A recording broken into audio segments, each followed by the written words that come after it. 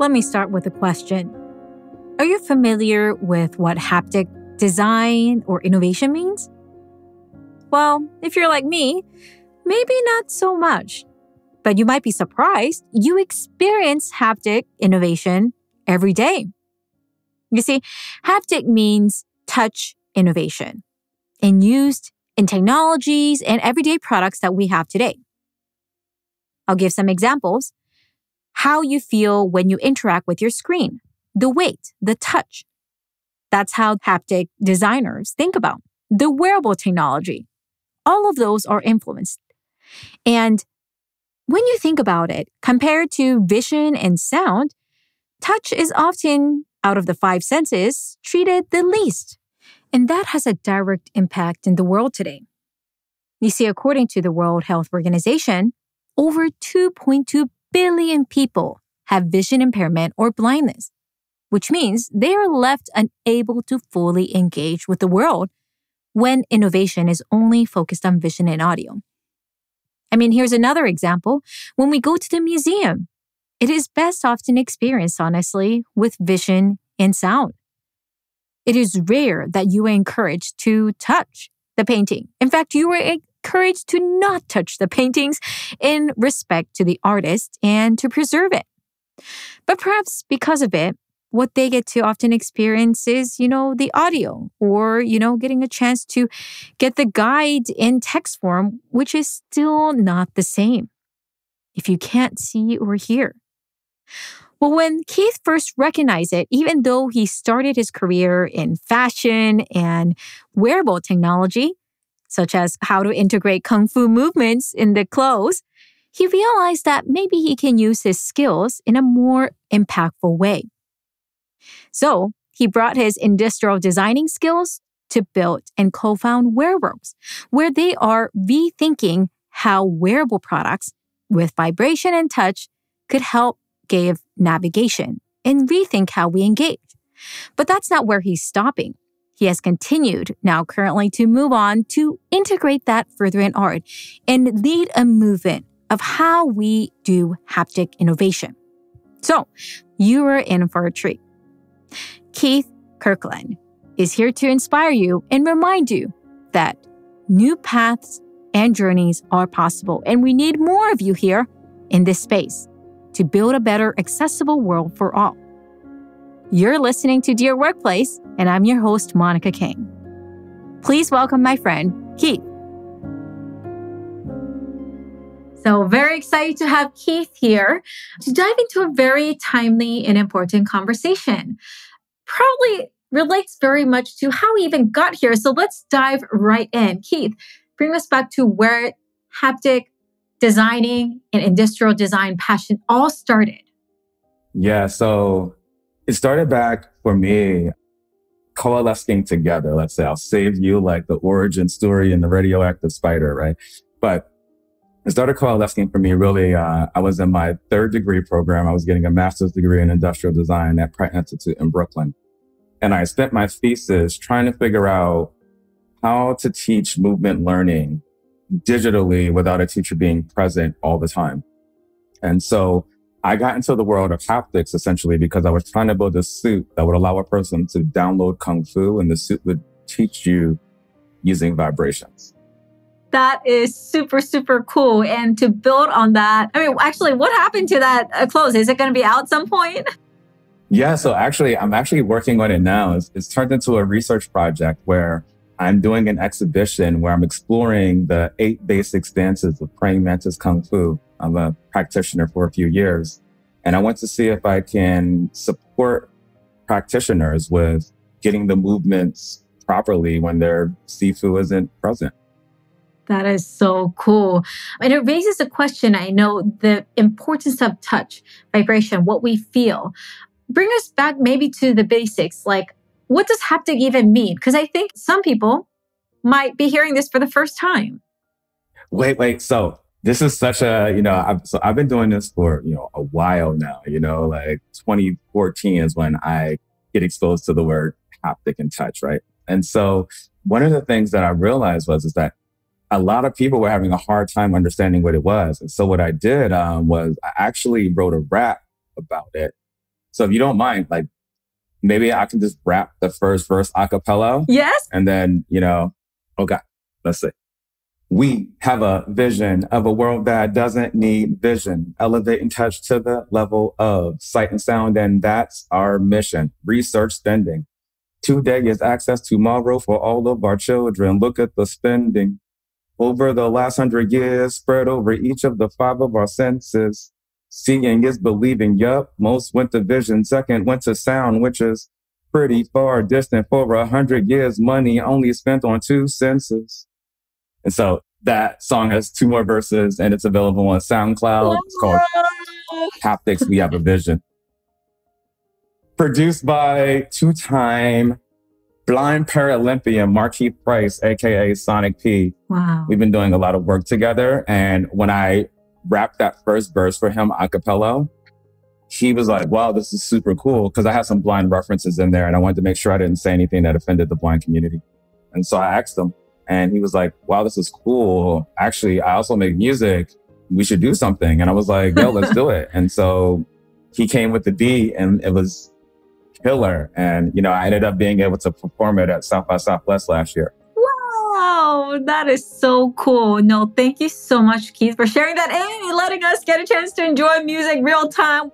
But it really speaks volume to why I was inspired and excited to have you, because what you have just demonstrated is not only beautifully shared us the song real time, which I think our listeners had a real treat, but highlighting how if there's something important that we need to bring change, not only should we go address it, but if it's not working the way it is, do it differently do it creatively, find different ways. And from that song that you have just shared, it's just like an example of how you tell the story more powerfully might help somebody who never thought it was important to address. And so let's dive a little bit deeper because going back to the five senses, I think it was the first time from you that I learned, and even from this song from your listeners, to realize, yeah, I didn't realize touch was treated last.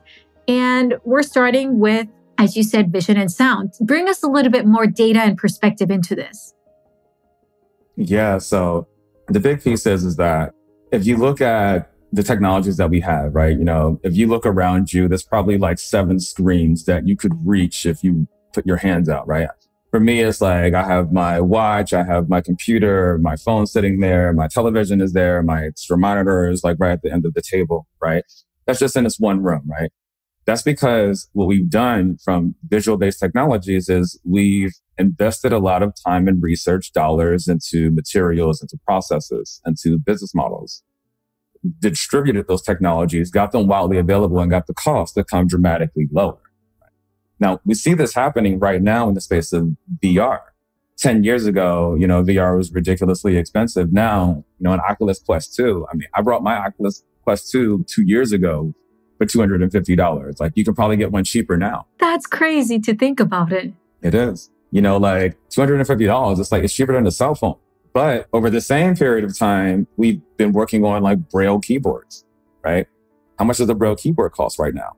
I think it's somewhere in the space of $2,500. Whoa, that's crazy.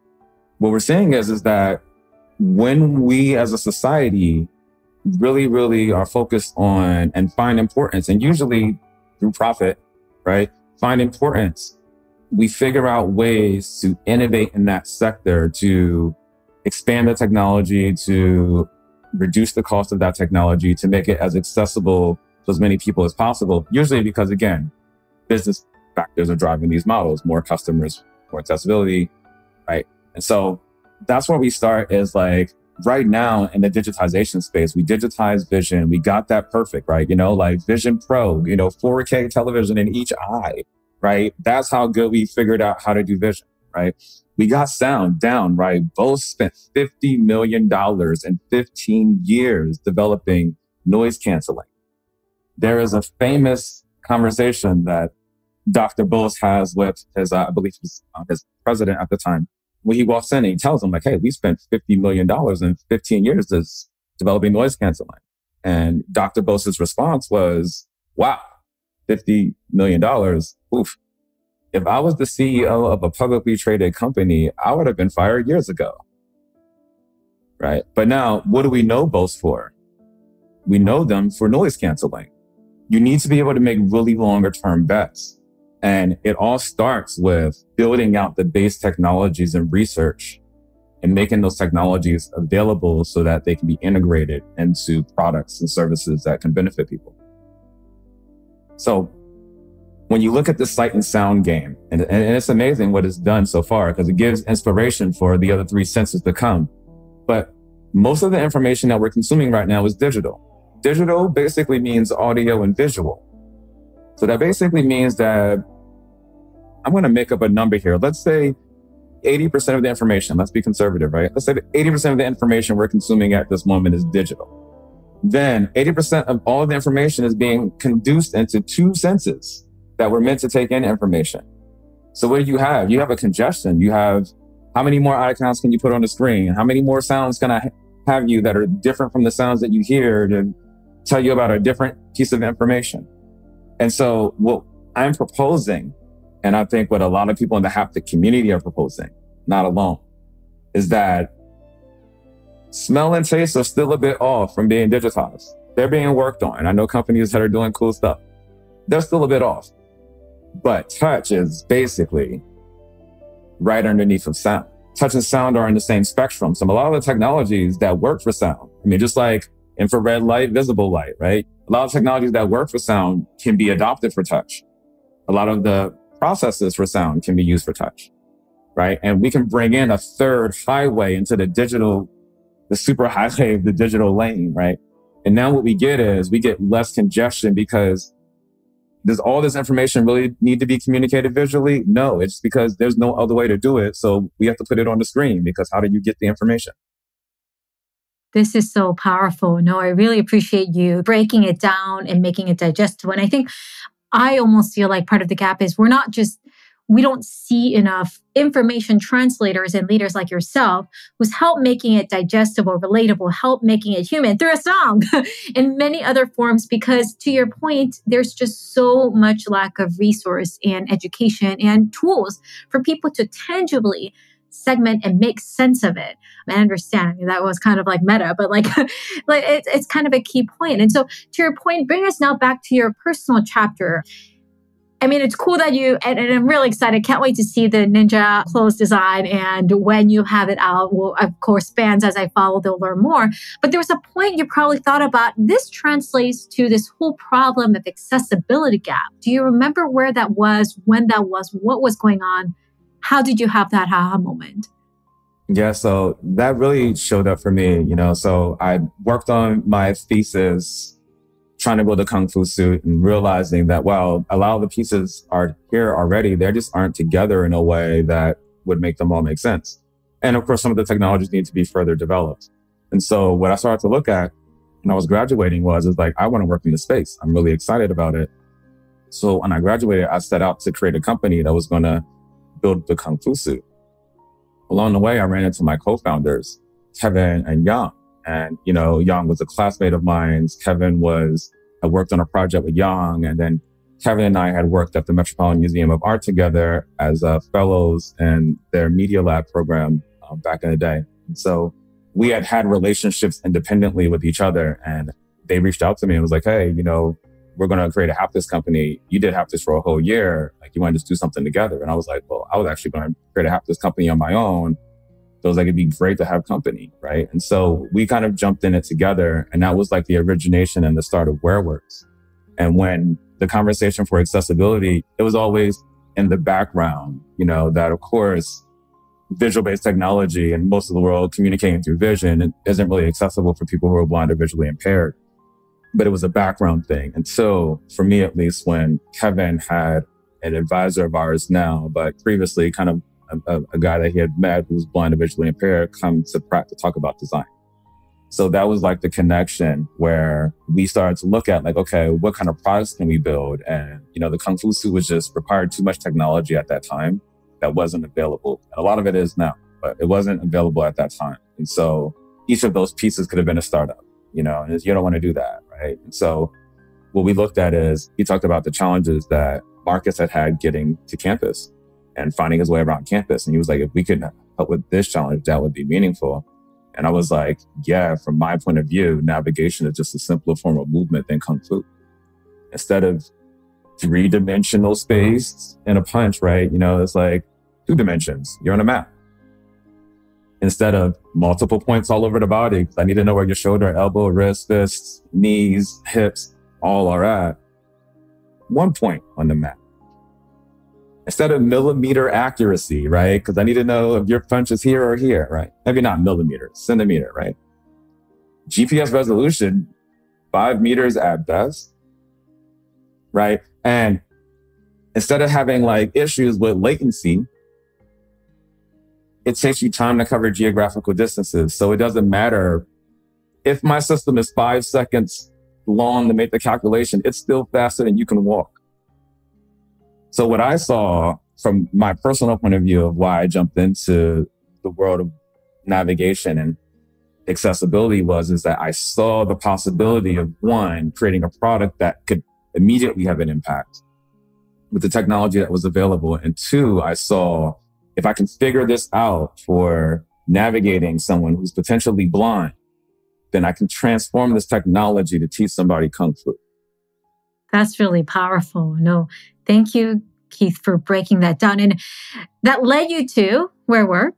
Tell me a little bit more the product in itself for those who have not heard or are familiar with how it works. Yes. So WearWorks is a haptic navigation company. And the first product we built was a band called Wayband. And it was paired with an app called Haptic Nav that's available for free in the App Store for anyone to download. So the way it worked is, is you connected the app to the band and you would type in or say where you want to go, like Google Maps, and then you would be gently guided to your destination using only vibrations without the need for any visual or audio feedback. And back in 2017, we used this technology to help the first person who was blind run the New York City Marathon without needing a sighted running guide. Oh my gosh. So basically, the way it worked was it was essentially a haptic compass. We knew where you are. We knew where the end of the street was because we mapped that. And we knew magnetic north was here and you need to go this way, right? So what we would do is we would essentially like follow you along. And when you're facing in the right direction, we give you no vibration. When you turn, left or right of the vibration, you get a slight buzz. And that vibration would get louder and louder. So you got 180 degrees the wrong way, where we give you the loudest vibration we can. And so essentially it became a very, almost like a game of hot and cold, but through touch, where you could feel exactly which way was the right way to go.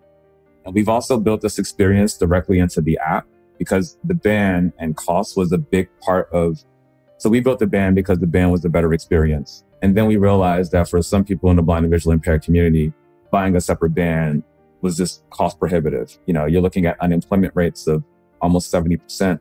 And so you get really, really challenged from a point of view of needing to spend money, even on things that are essential. And so we figured out a way that could make the phone vibrate in your hand using the vibrating motors that are built into it so you don't need a band. And then we made the app totally available for free. So we started off selling the bands for 249 the bands are still available on sale. You can buy one on Amazon, but you can also not need the band. Just use the phone and you can navigate completely free using haptics. That's amazing. Is the company then nonprofit or for profit? Because I think from the business point of view, people would be also curious like, how do we do good work, but also maintain our balance sheet and accounting? Yeah, yeah, no, no, definitely for profit. So what we realized is, is that there's an awareness conversation. And in order to get access to that awareness conversation. Like, cause no one knows what the word haptic means. So it's like, you can't sell, it's going to be hard to sell something that no one understands what it is until they can feel it. Right. What's the best way to feel it? Well, to make it available for everyone worldwide for free. Right. But also who does that benefit? It benefits people who really needed it. And so we saw a dual possibility where we looked at the blind community as like, what if we didn't see them as the main drivers of our economic success, right? What if they were just the benefactors of our economic success and our drivers were somewhere else? And that's when we started shifting to work with B2B directly. And now, because the app is publicly available, and if an executive from Airbnb or Disney or Google wants to try the app, they simply go and download it, right? Um, so it, it, haptics had a marketing issue because it's like, it's great for IP because like you don't know what I'm designing until you feel it. But it's terrible for marketing because you don't know what I'm talking about until you feel it. Right. So it's like we're playing with this gap But the big part of that conversation was, was it was initiated by, okay, we were getting people like, wow, okay, this band is great, but it's, it's too expensive. I can't afford this. Yeah. Is there another way that you can do this so that I can have access to this technology? And it became a waterfall that was like, but wait, there's this bigger possibility. And meanwhile, simultaneously, the company was being approached by organizations who saw the technology as like potential use cases that they could add to their technology stack to make their work more accessible. Mm. No, that's really powerful. And I loved even like kind of the funny stories that you shared of like, hey, remember, like this is needed uh, for literally everyone. Like, how many people get lost even just looking at the map, even if you have access to all of it? I'm guilty of it too. Like, especially when you're navigating places like New York, it's like every street looks the same. And I'm like, sorry, locals. I know you guys can differentiate, but when you're traveling, it feels hard. And so it's so powerful. And I love that. And going back to kind of your early chapters and as you're sharing it, it's all possible because of your background of having the expertise in industrial design, fashion design, mechanical engineering. Tell us a little bit more like what does that mean for folks who are listening? It was like, geez, I want to be able to build stuff like that and change the world. Like, what kind of skills do you have to build? What would you say to them? Yeah. So, you know, um, so, you know, like, so I feel like two different conversations. So first I'll do the skills because I feel like my journey is relatively inefficient. I wouldn't necessarily recommend it for most travelers. I think there's faster and better ways to do it than I did it. So the way I think it should be done is, is that I mean, the first thing you need is like, you just need a really like a strong desire and a willingness to want to see a difference happen. And then I think you need a big enough interest in the space to be willing to fall down that rabbit hole and stay in that rabbit hole for as long as it takes to get the objective complete. Right. You know, and so it's like, like, for example, it's like when I went into, like, I was very clear that I wanted to do wearable technology. I, come from fashion. So my background, mechanical engineering first, and then I became a handbag and shoe designer. I worked for Calvin Klein and coach for a few years in different roles from technical design to handbag design to handbag engineering. I left, went back to school, got a degree in industrial design. Part of that degree, I spent traveling abroad because I was at Pratt and they made up this new degree called Global Innovation Design. When we got there, we got to be the guinea pigs. So I spent six months studying media design at Keio University in, um, in Japan, in Tokyo. And I spent four months studying innovative design engineering at the Royal College of Art and Imperial College in London. And then came back basically for my third year to New York to finish out. And so and when I came back, I was like, wow, I miss fashion so much. How can I do this in a way that really resonates with me? And at the time I had my fashion degree, I had my engineering degree. So fashion and technology made sense to mash together. But when I looked at that ecosystem, I wasn't excited about all parts of it. Like, for example, like I could be making pacemakers, right? Technically wearable technology. I could also be making prison ankle monitor bracelets. Also technically wearable technology, right? You know, like I wasn't really interested from a personal point of view in like hospitals or prisons. And I'm glad that we have people who are interested in those works. It's super important. But from a personal, and, and this is where it's like every person's path is very your path, right? You know, from a personal side of things, it, it didn't resonate with me, right? And so I was like, okay, where do I really love being? And I realized that like all of my life, I love learning movement. You know, like I had started learning Kung Fu when I was almost 13 years old. I was running. I did weightlifting. I'm no master. I'm no athlete in any kind of way. I, I wouldn't categorize myself, right? But I love movement and I love learning. I started practicing, you know, ninjutsu and kendo and judo, Japanese longbow archery. I did capoeira, what I'm practicing now for the last six months, right? Which is the Brazilian style of martial art that's heavily focused around movement and what feels like dance and music right? And so I love learning movement. I picked up skateboarding on my 33rd birthday. You know, like I literally bought a skateboard on my 33rd birthday because they were 70% off and I had always wanted one. And when I was nine years old, I kind of knocked out my two front teeth on one and decided maybe skateboarding wasn't for me. I've been skateboarding for like a decade now. I love it. It's amazing. But I also had all these injuries because I was self teaching myself, self teaching myself. I was, I was learning all these self taught movements and I'm watching videos or you know, seeing photos or images and trying to copy them. Right. And of course, I'm not doing them accurately. And so messed up my knee running, two partially torn rotator cuffs when I wasn't doing pull ups improperly. I herniated a disc in my lower back when I flipped off a scaffold and didn't land properly. And more importantly, I was getting injured a lot and the injury would take me out of the movement that I would love. And so I was trying to figure out like, really when I built this Kung Fu suit, I was really trying to figure out how can I practice movement in a safe way when I'm alone so I don't injure myself that takes me out of the game of movement. Because guess what? My Kung Fu friends are not my skateboarding friends, are not my weightlifting friends, are not my running friends. So guess what? When I got running injured, lost my running friends because I wasn't runner. I wasn't a runner anymore. Right. So, so much of my life was tied to these activities. And more importantly, I got tired of losing community every time I got an injury. Right. And so that was my big premise. But really, really, the real inspiration was like, I saw the Matrix a thousand times and was like, I want to download Kung Fu. Right. I love that. No, thank you for sharing that humble journey. But also throughout that chapter, chapters, we're hearing the different skills as you have highlighted through your stories, the resilience, the kind of like, you know, dig deep attitude, uh, the importance of just holding into it, the grit. And now I know you're bringing that even further into arts. You're doing a very special fellowship program. Tell us a little bit more about it in Kansas right now and why that connects to the special exhibitions that you are doing this year. That's great. Thank you. And so right now I am the Leonard Pryor Fellow at the Kansas City Art Institute in Kansas City, Missouri.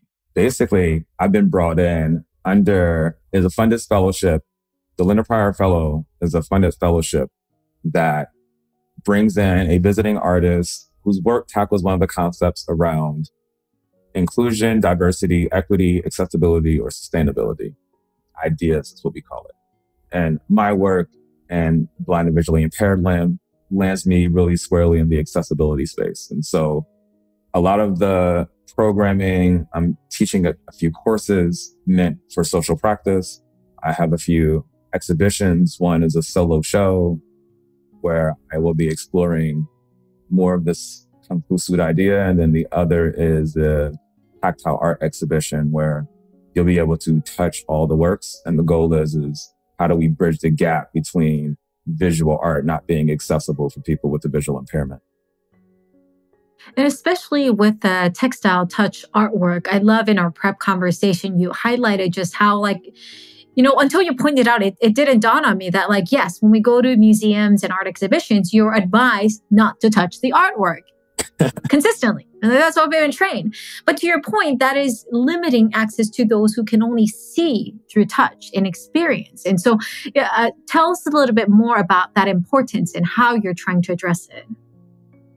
Yeah, it's a very interesting thing. Uh, most of the experience for people who are blind or visually impaired when they're at the museum, they're basically just there's very few things that they can directly experience. So basically their museum experience is like a narration of their friend, basically me, right? So me and Marquis, right? We go hang out at the museum.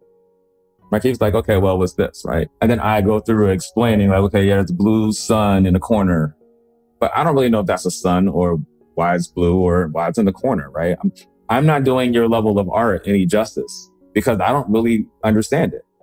But that's the experience of the people, a lot of people who have a visual impairment is through indirect experience. And so without proper access to the artwork in some way. It can be really, really challenging. And now like a lot of people will write descriptive ads about what the painting is. That's very accessible. It's fantastic. It adds a layer that people with a visual impairment in particularly can tag in to the experience, right? You can even add like an audio recording that explains, you know, some of the process. But the idea of the artwork being only visual and totally visual, that puts a barrier between something, between the art and someone with a visual impairment. And so the goal of the exhibition really um, that I was creating was, was like, can we have a conversation where we, you know, because we all understand the, the museum narrative, look but don't touch. It's so ingrained in us that even when you can touch stuff, you have to put big signs that's like, you can touch this. You have to have a person that's like, yeah, it's okay to touch this. Like you need so much affirmation yeah. to touch stuff in a museum because like, again, everyone knows not to touch the Picasso, right? Everyone knows not to touch the Rembrandt. We know we've been taught. So it almost, and in this way, it, it, it, almost like this exhibition one is, is a way to serve as a, as a lens to highlight how inaccessible art really is from a non-visual point of view.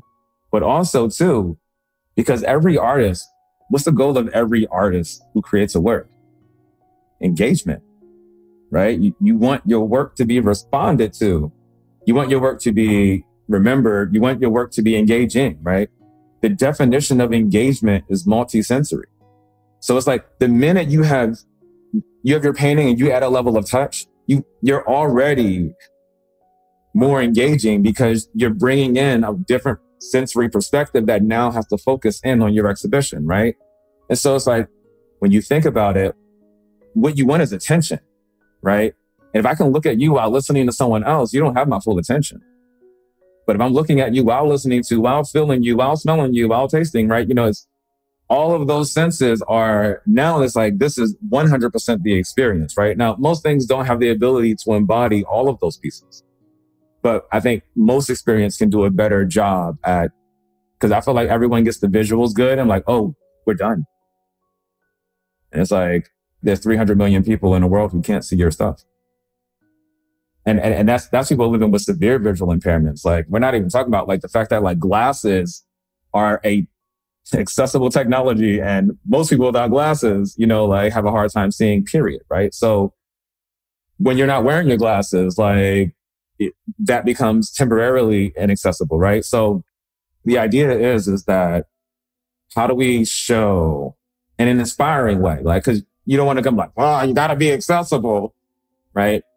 It's, it's more, it's like, how do you get people to be accessible? You show them that they can make more money being accessible than they can not being accessible and everyone will be accessible. It's, it's very simple, right? Money is a big driver. Capital is a big driver. And I think the power of business, the power of product, the power of design in, in particular is that we can use that to drive particular types of changes that we want to see. And I think I love that part of this work.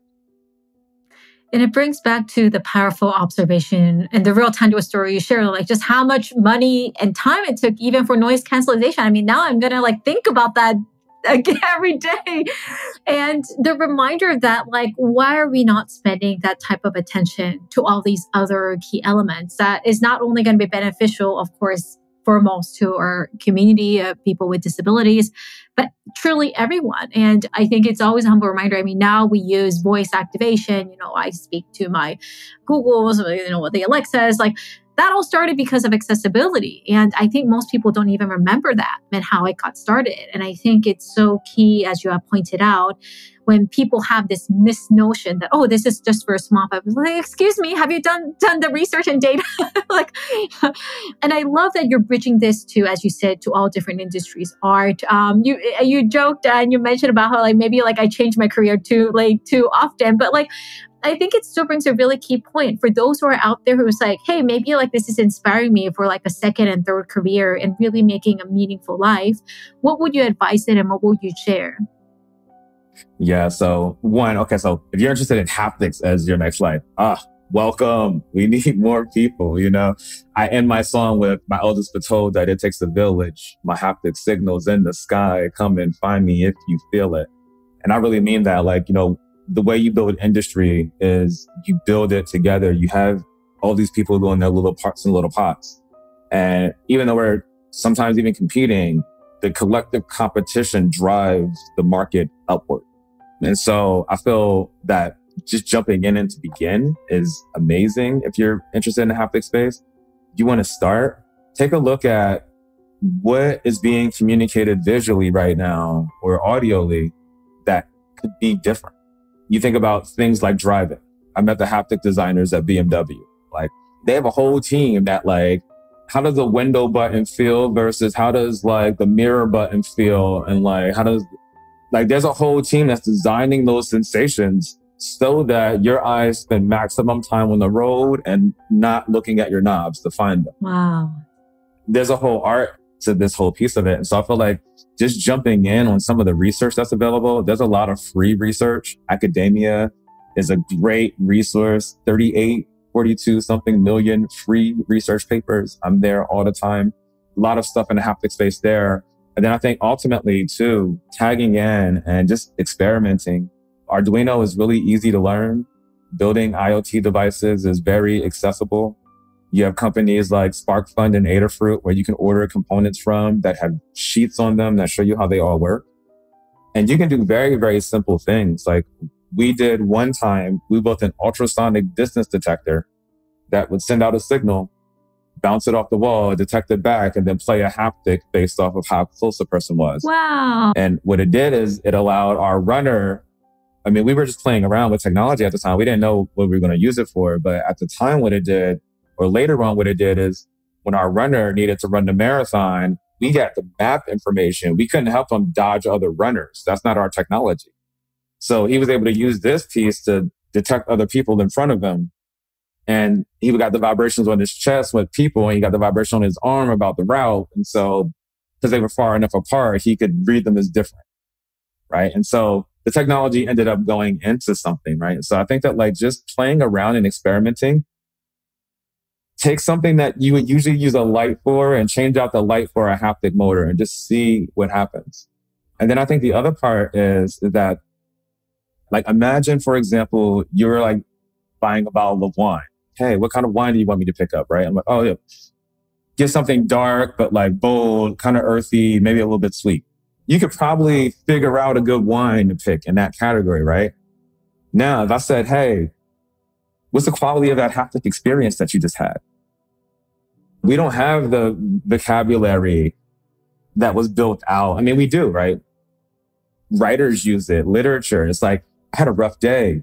Are you slimy son of a, you know, like we have all these tactile words built in haptically into the language that are visceral. They're actually so visceral that there's research that's been done that, for example, if you give someone a resume, same resume, two different clipboards, one weighs five grams, one weighs one kilo, and you give it to them, they will rate the candidate that has the heavier clipboard as having more gravitas. Wow. If you meet someone and you give them your warm cup of coffee to hold for a few seconds while you bend down and tie your shoelaces, they would naturally think of you as a warmer and friendlier person. Wow. there, there's, there's research. But here's the thing that's really interesting too is that the heavier clipboard, you're not rated as more intelligent. You're not rated as warmer or friendlier. The quality of text changes based off of the quality of the actual materiality of the object.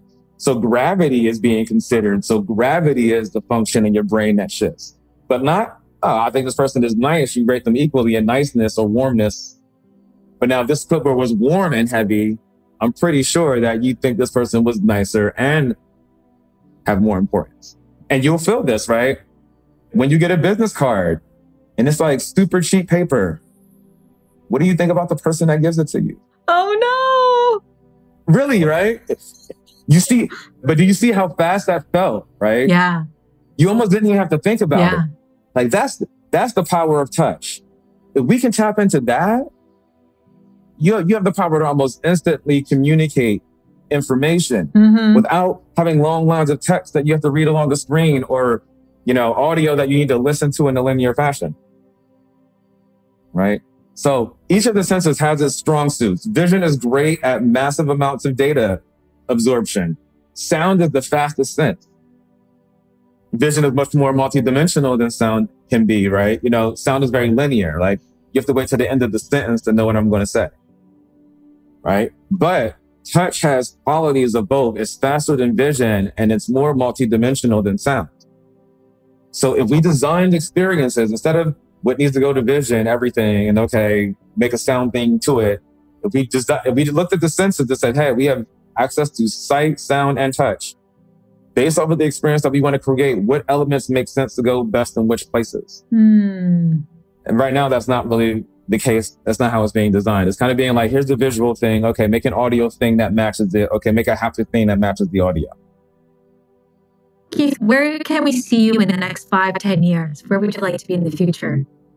Oof, yes. So one thing I'd like to do is haptic education is a really important mantle that I've taken up lately. It, it was uh, it was really interesting. I, I, realized at my time when I was in day to day operations at where WearWorks that like if we were wildly successful, I would have nowhere to go to hire haptic designers. And I, I'm, I'm exaggerating. There are places to go. They just all would have PhDs and probably cost me 140, 150,000 dollars a year, right? And so when we look at research effectiveness, right? You know, like, and, and also to, to be really clear, most of the people who get a degree in haptics, they have a degree in human computer interaction. Haptics is a part of that bigger space, right? So I'm not sure if there's a, you go when you study only haptics and you walk out with a degree in haptics, the same way you can go and study graphic design and only walk out with a degree in graphic design. Or you can go and study music and only, you can go and study trumpet and only walk out with a degree in trumpet, not even music, right? You know, like that's how specific we get with sound. Like you can focus on one part of sound and have a four year degree experience in it, right? What I would love to build is I would love to build a four year degree undergraduate program for haptic design and haptic education. Wow. I think that I learned the word haptic at 33 and I was able to make a, a really large impact over this last decade as some change, but I learned mechanical engineer at 12. I learned artist at six. And what could I have done if I didn't learn this word basically until like the, you know, the second third of my life? And more importantly, what can the world do when people are inspired who are going into industry now in undergraduate? Cause that's our future, right? Even if they're not haptic experts, if they know what the word haptic means and they've seen applications of haptics, all of a sudden that becomes a valuable opportunity to present as a solution to explore when they get and they're working at companies like major engineering firms or major, major tech giants or major pharmaceutical companies. How did Adobe get into companies? They made students learn it and gave it away cheap. And then the students took it into the companies, right? I'm not exactly sure if that was Adobe's plan, but that's how I brought Adobe into like my spaces where it was like, wait, you guys aren't using Illustrator? You guys, no, no, we're, we're not doing this. Mm. Right? You know, hmm. like it was a push from the top always, but it was it was almost equally a push from the bottom because that was my expertise. If, if I have to go back to hand drawing or use something different, you need to pay me more money essentially to do the same work. Right. So industry adapted. Thank you for sharing how we need a systematic change. We need a way of reforming. And I think your story of just the reminder of like that word, lack of awareness, lack of understanding the fact that like probably for like i said a lot of listeners they might be hearing this for the first time and learning about it for the first time. And so we hope that we can help amplify and be of support in that journey and mission you're doing. Keith, thank you so much for inspiring all of us. We dove into so many different areas and you shared so many wisdoms. What will be your final piece of wisdom you want to share with our innovators no matter where they are in their journey today? The biggest piece of advice that I feel like I found, you know, I grew up in a really poor city and at the time, I had always felt that in order to make a difference, I had to like get out.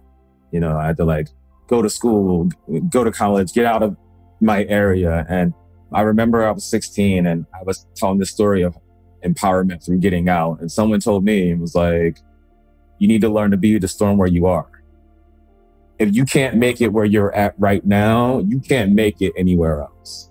Don't look at like out there as your escape this is like how you prove that you're worthy of out there. It's not the other way around, you know? So for innovators everywhere, be the storm where you are. Use the resources that you have. Work with the people that are interested in working with you. Get the job done that you can get done today. Worry about tomorrow what you can't get done right now. I'm sure there's a billion things that you can't do right now that if you use your resources right now, you can do. So focus on what you can do and know, cause like I, I feel like so many times it's like people are on the sidelines. They're watching you use your resources now. And then when you get to a certain point, they almost self-select into the experience. Like I've had full on, like I had an investor who was a friend of mine that just was like, Hey, I was complaining to her about how I couldn't raise any money to run, help the person who was blind run the marathon. It was, it was a month and a half before I spent five months raising money, had no money. I'm like, we have Discovery Channel following us around. We have all this stuff going on. There's going to be no race because no one will give me the money to even try it. And I was so just deeply frustrated. And she was like, you know, I've always wanted to invest in your company, right? And I was like, no. And then she was like, yeah. And I was like, well, how much you want to invest? And she's like, well, how much you think you need? And I was like, I don't know. I think I could do it with $50,000. Two days later, we had $50,000. And a month later, a blind person ran a marathon. Wow. But I wasn't trying to get money from her. I was just sharing my grind every day. And she was my friend and it was authentic sharing. And at some point she just jumped in because that was the experience that she wanted to have. Wow. And I've had that happen multiple times. So it's like, be the storm where you are. The people that can have access to you, that they see you, they see you grinding. And like when you get to a place where they feel like either they can help or that you've proven enough to them, they'll jump in on their own and they'll open up doors that you couldn't imagine. Wow. Wow.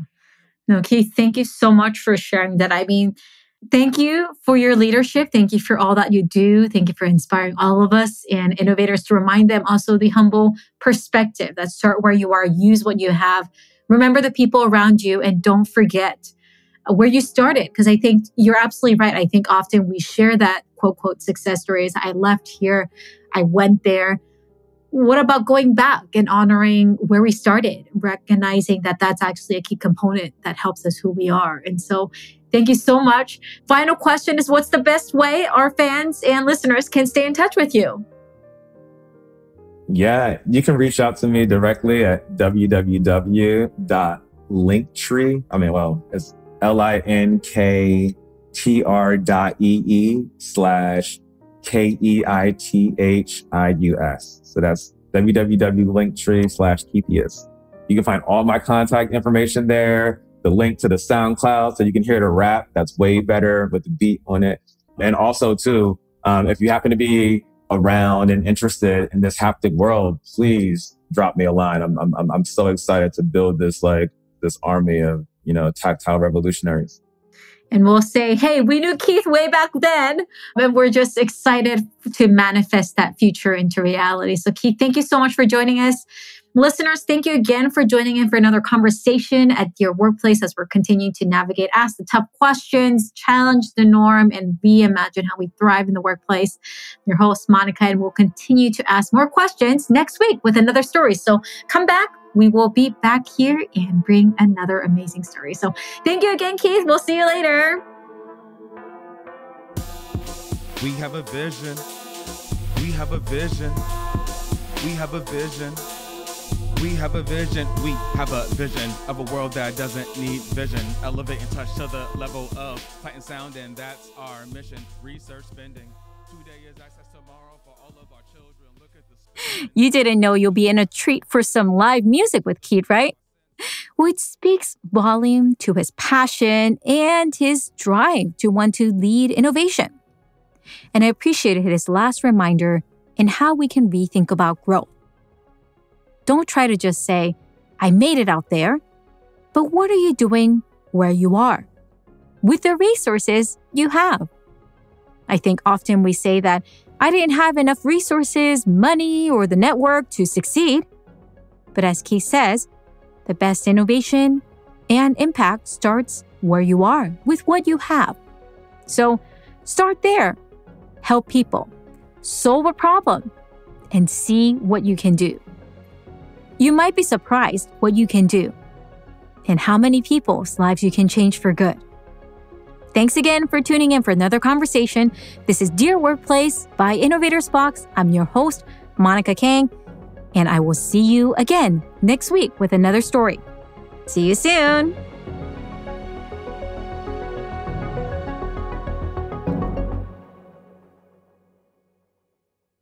Thanks again for joining us. This is your host, Monica Kang at Dear Workplace, and I'm so glad you are here. This show is possible thanks to our amazing podcast team who has worked with me at Innovators Box Studios. Shout out to audio engineering and producing by Sam Lamer, audio engineering assistant by Ravi Ladd, website and marketing support by Cree Panday, graphic support by Leah Orsini, Christine Eribal, and original music by Innovators Box Studios. And writing, interviewing, podcasting, directing, and all that jazz by me, Monica Kang. Share us your feedback and suggestions as we continue to look to improve and answer the questions that you have about the workplace. Have a great day, and I'll see you soon.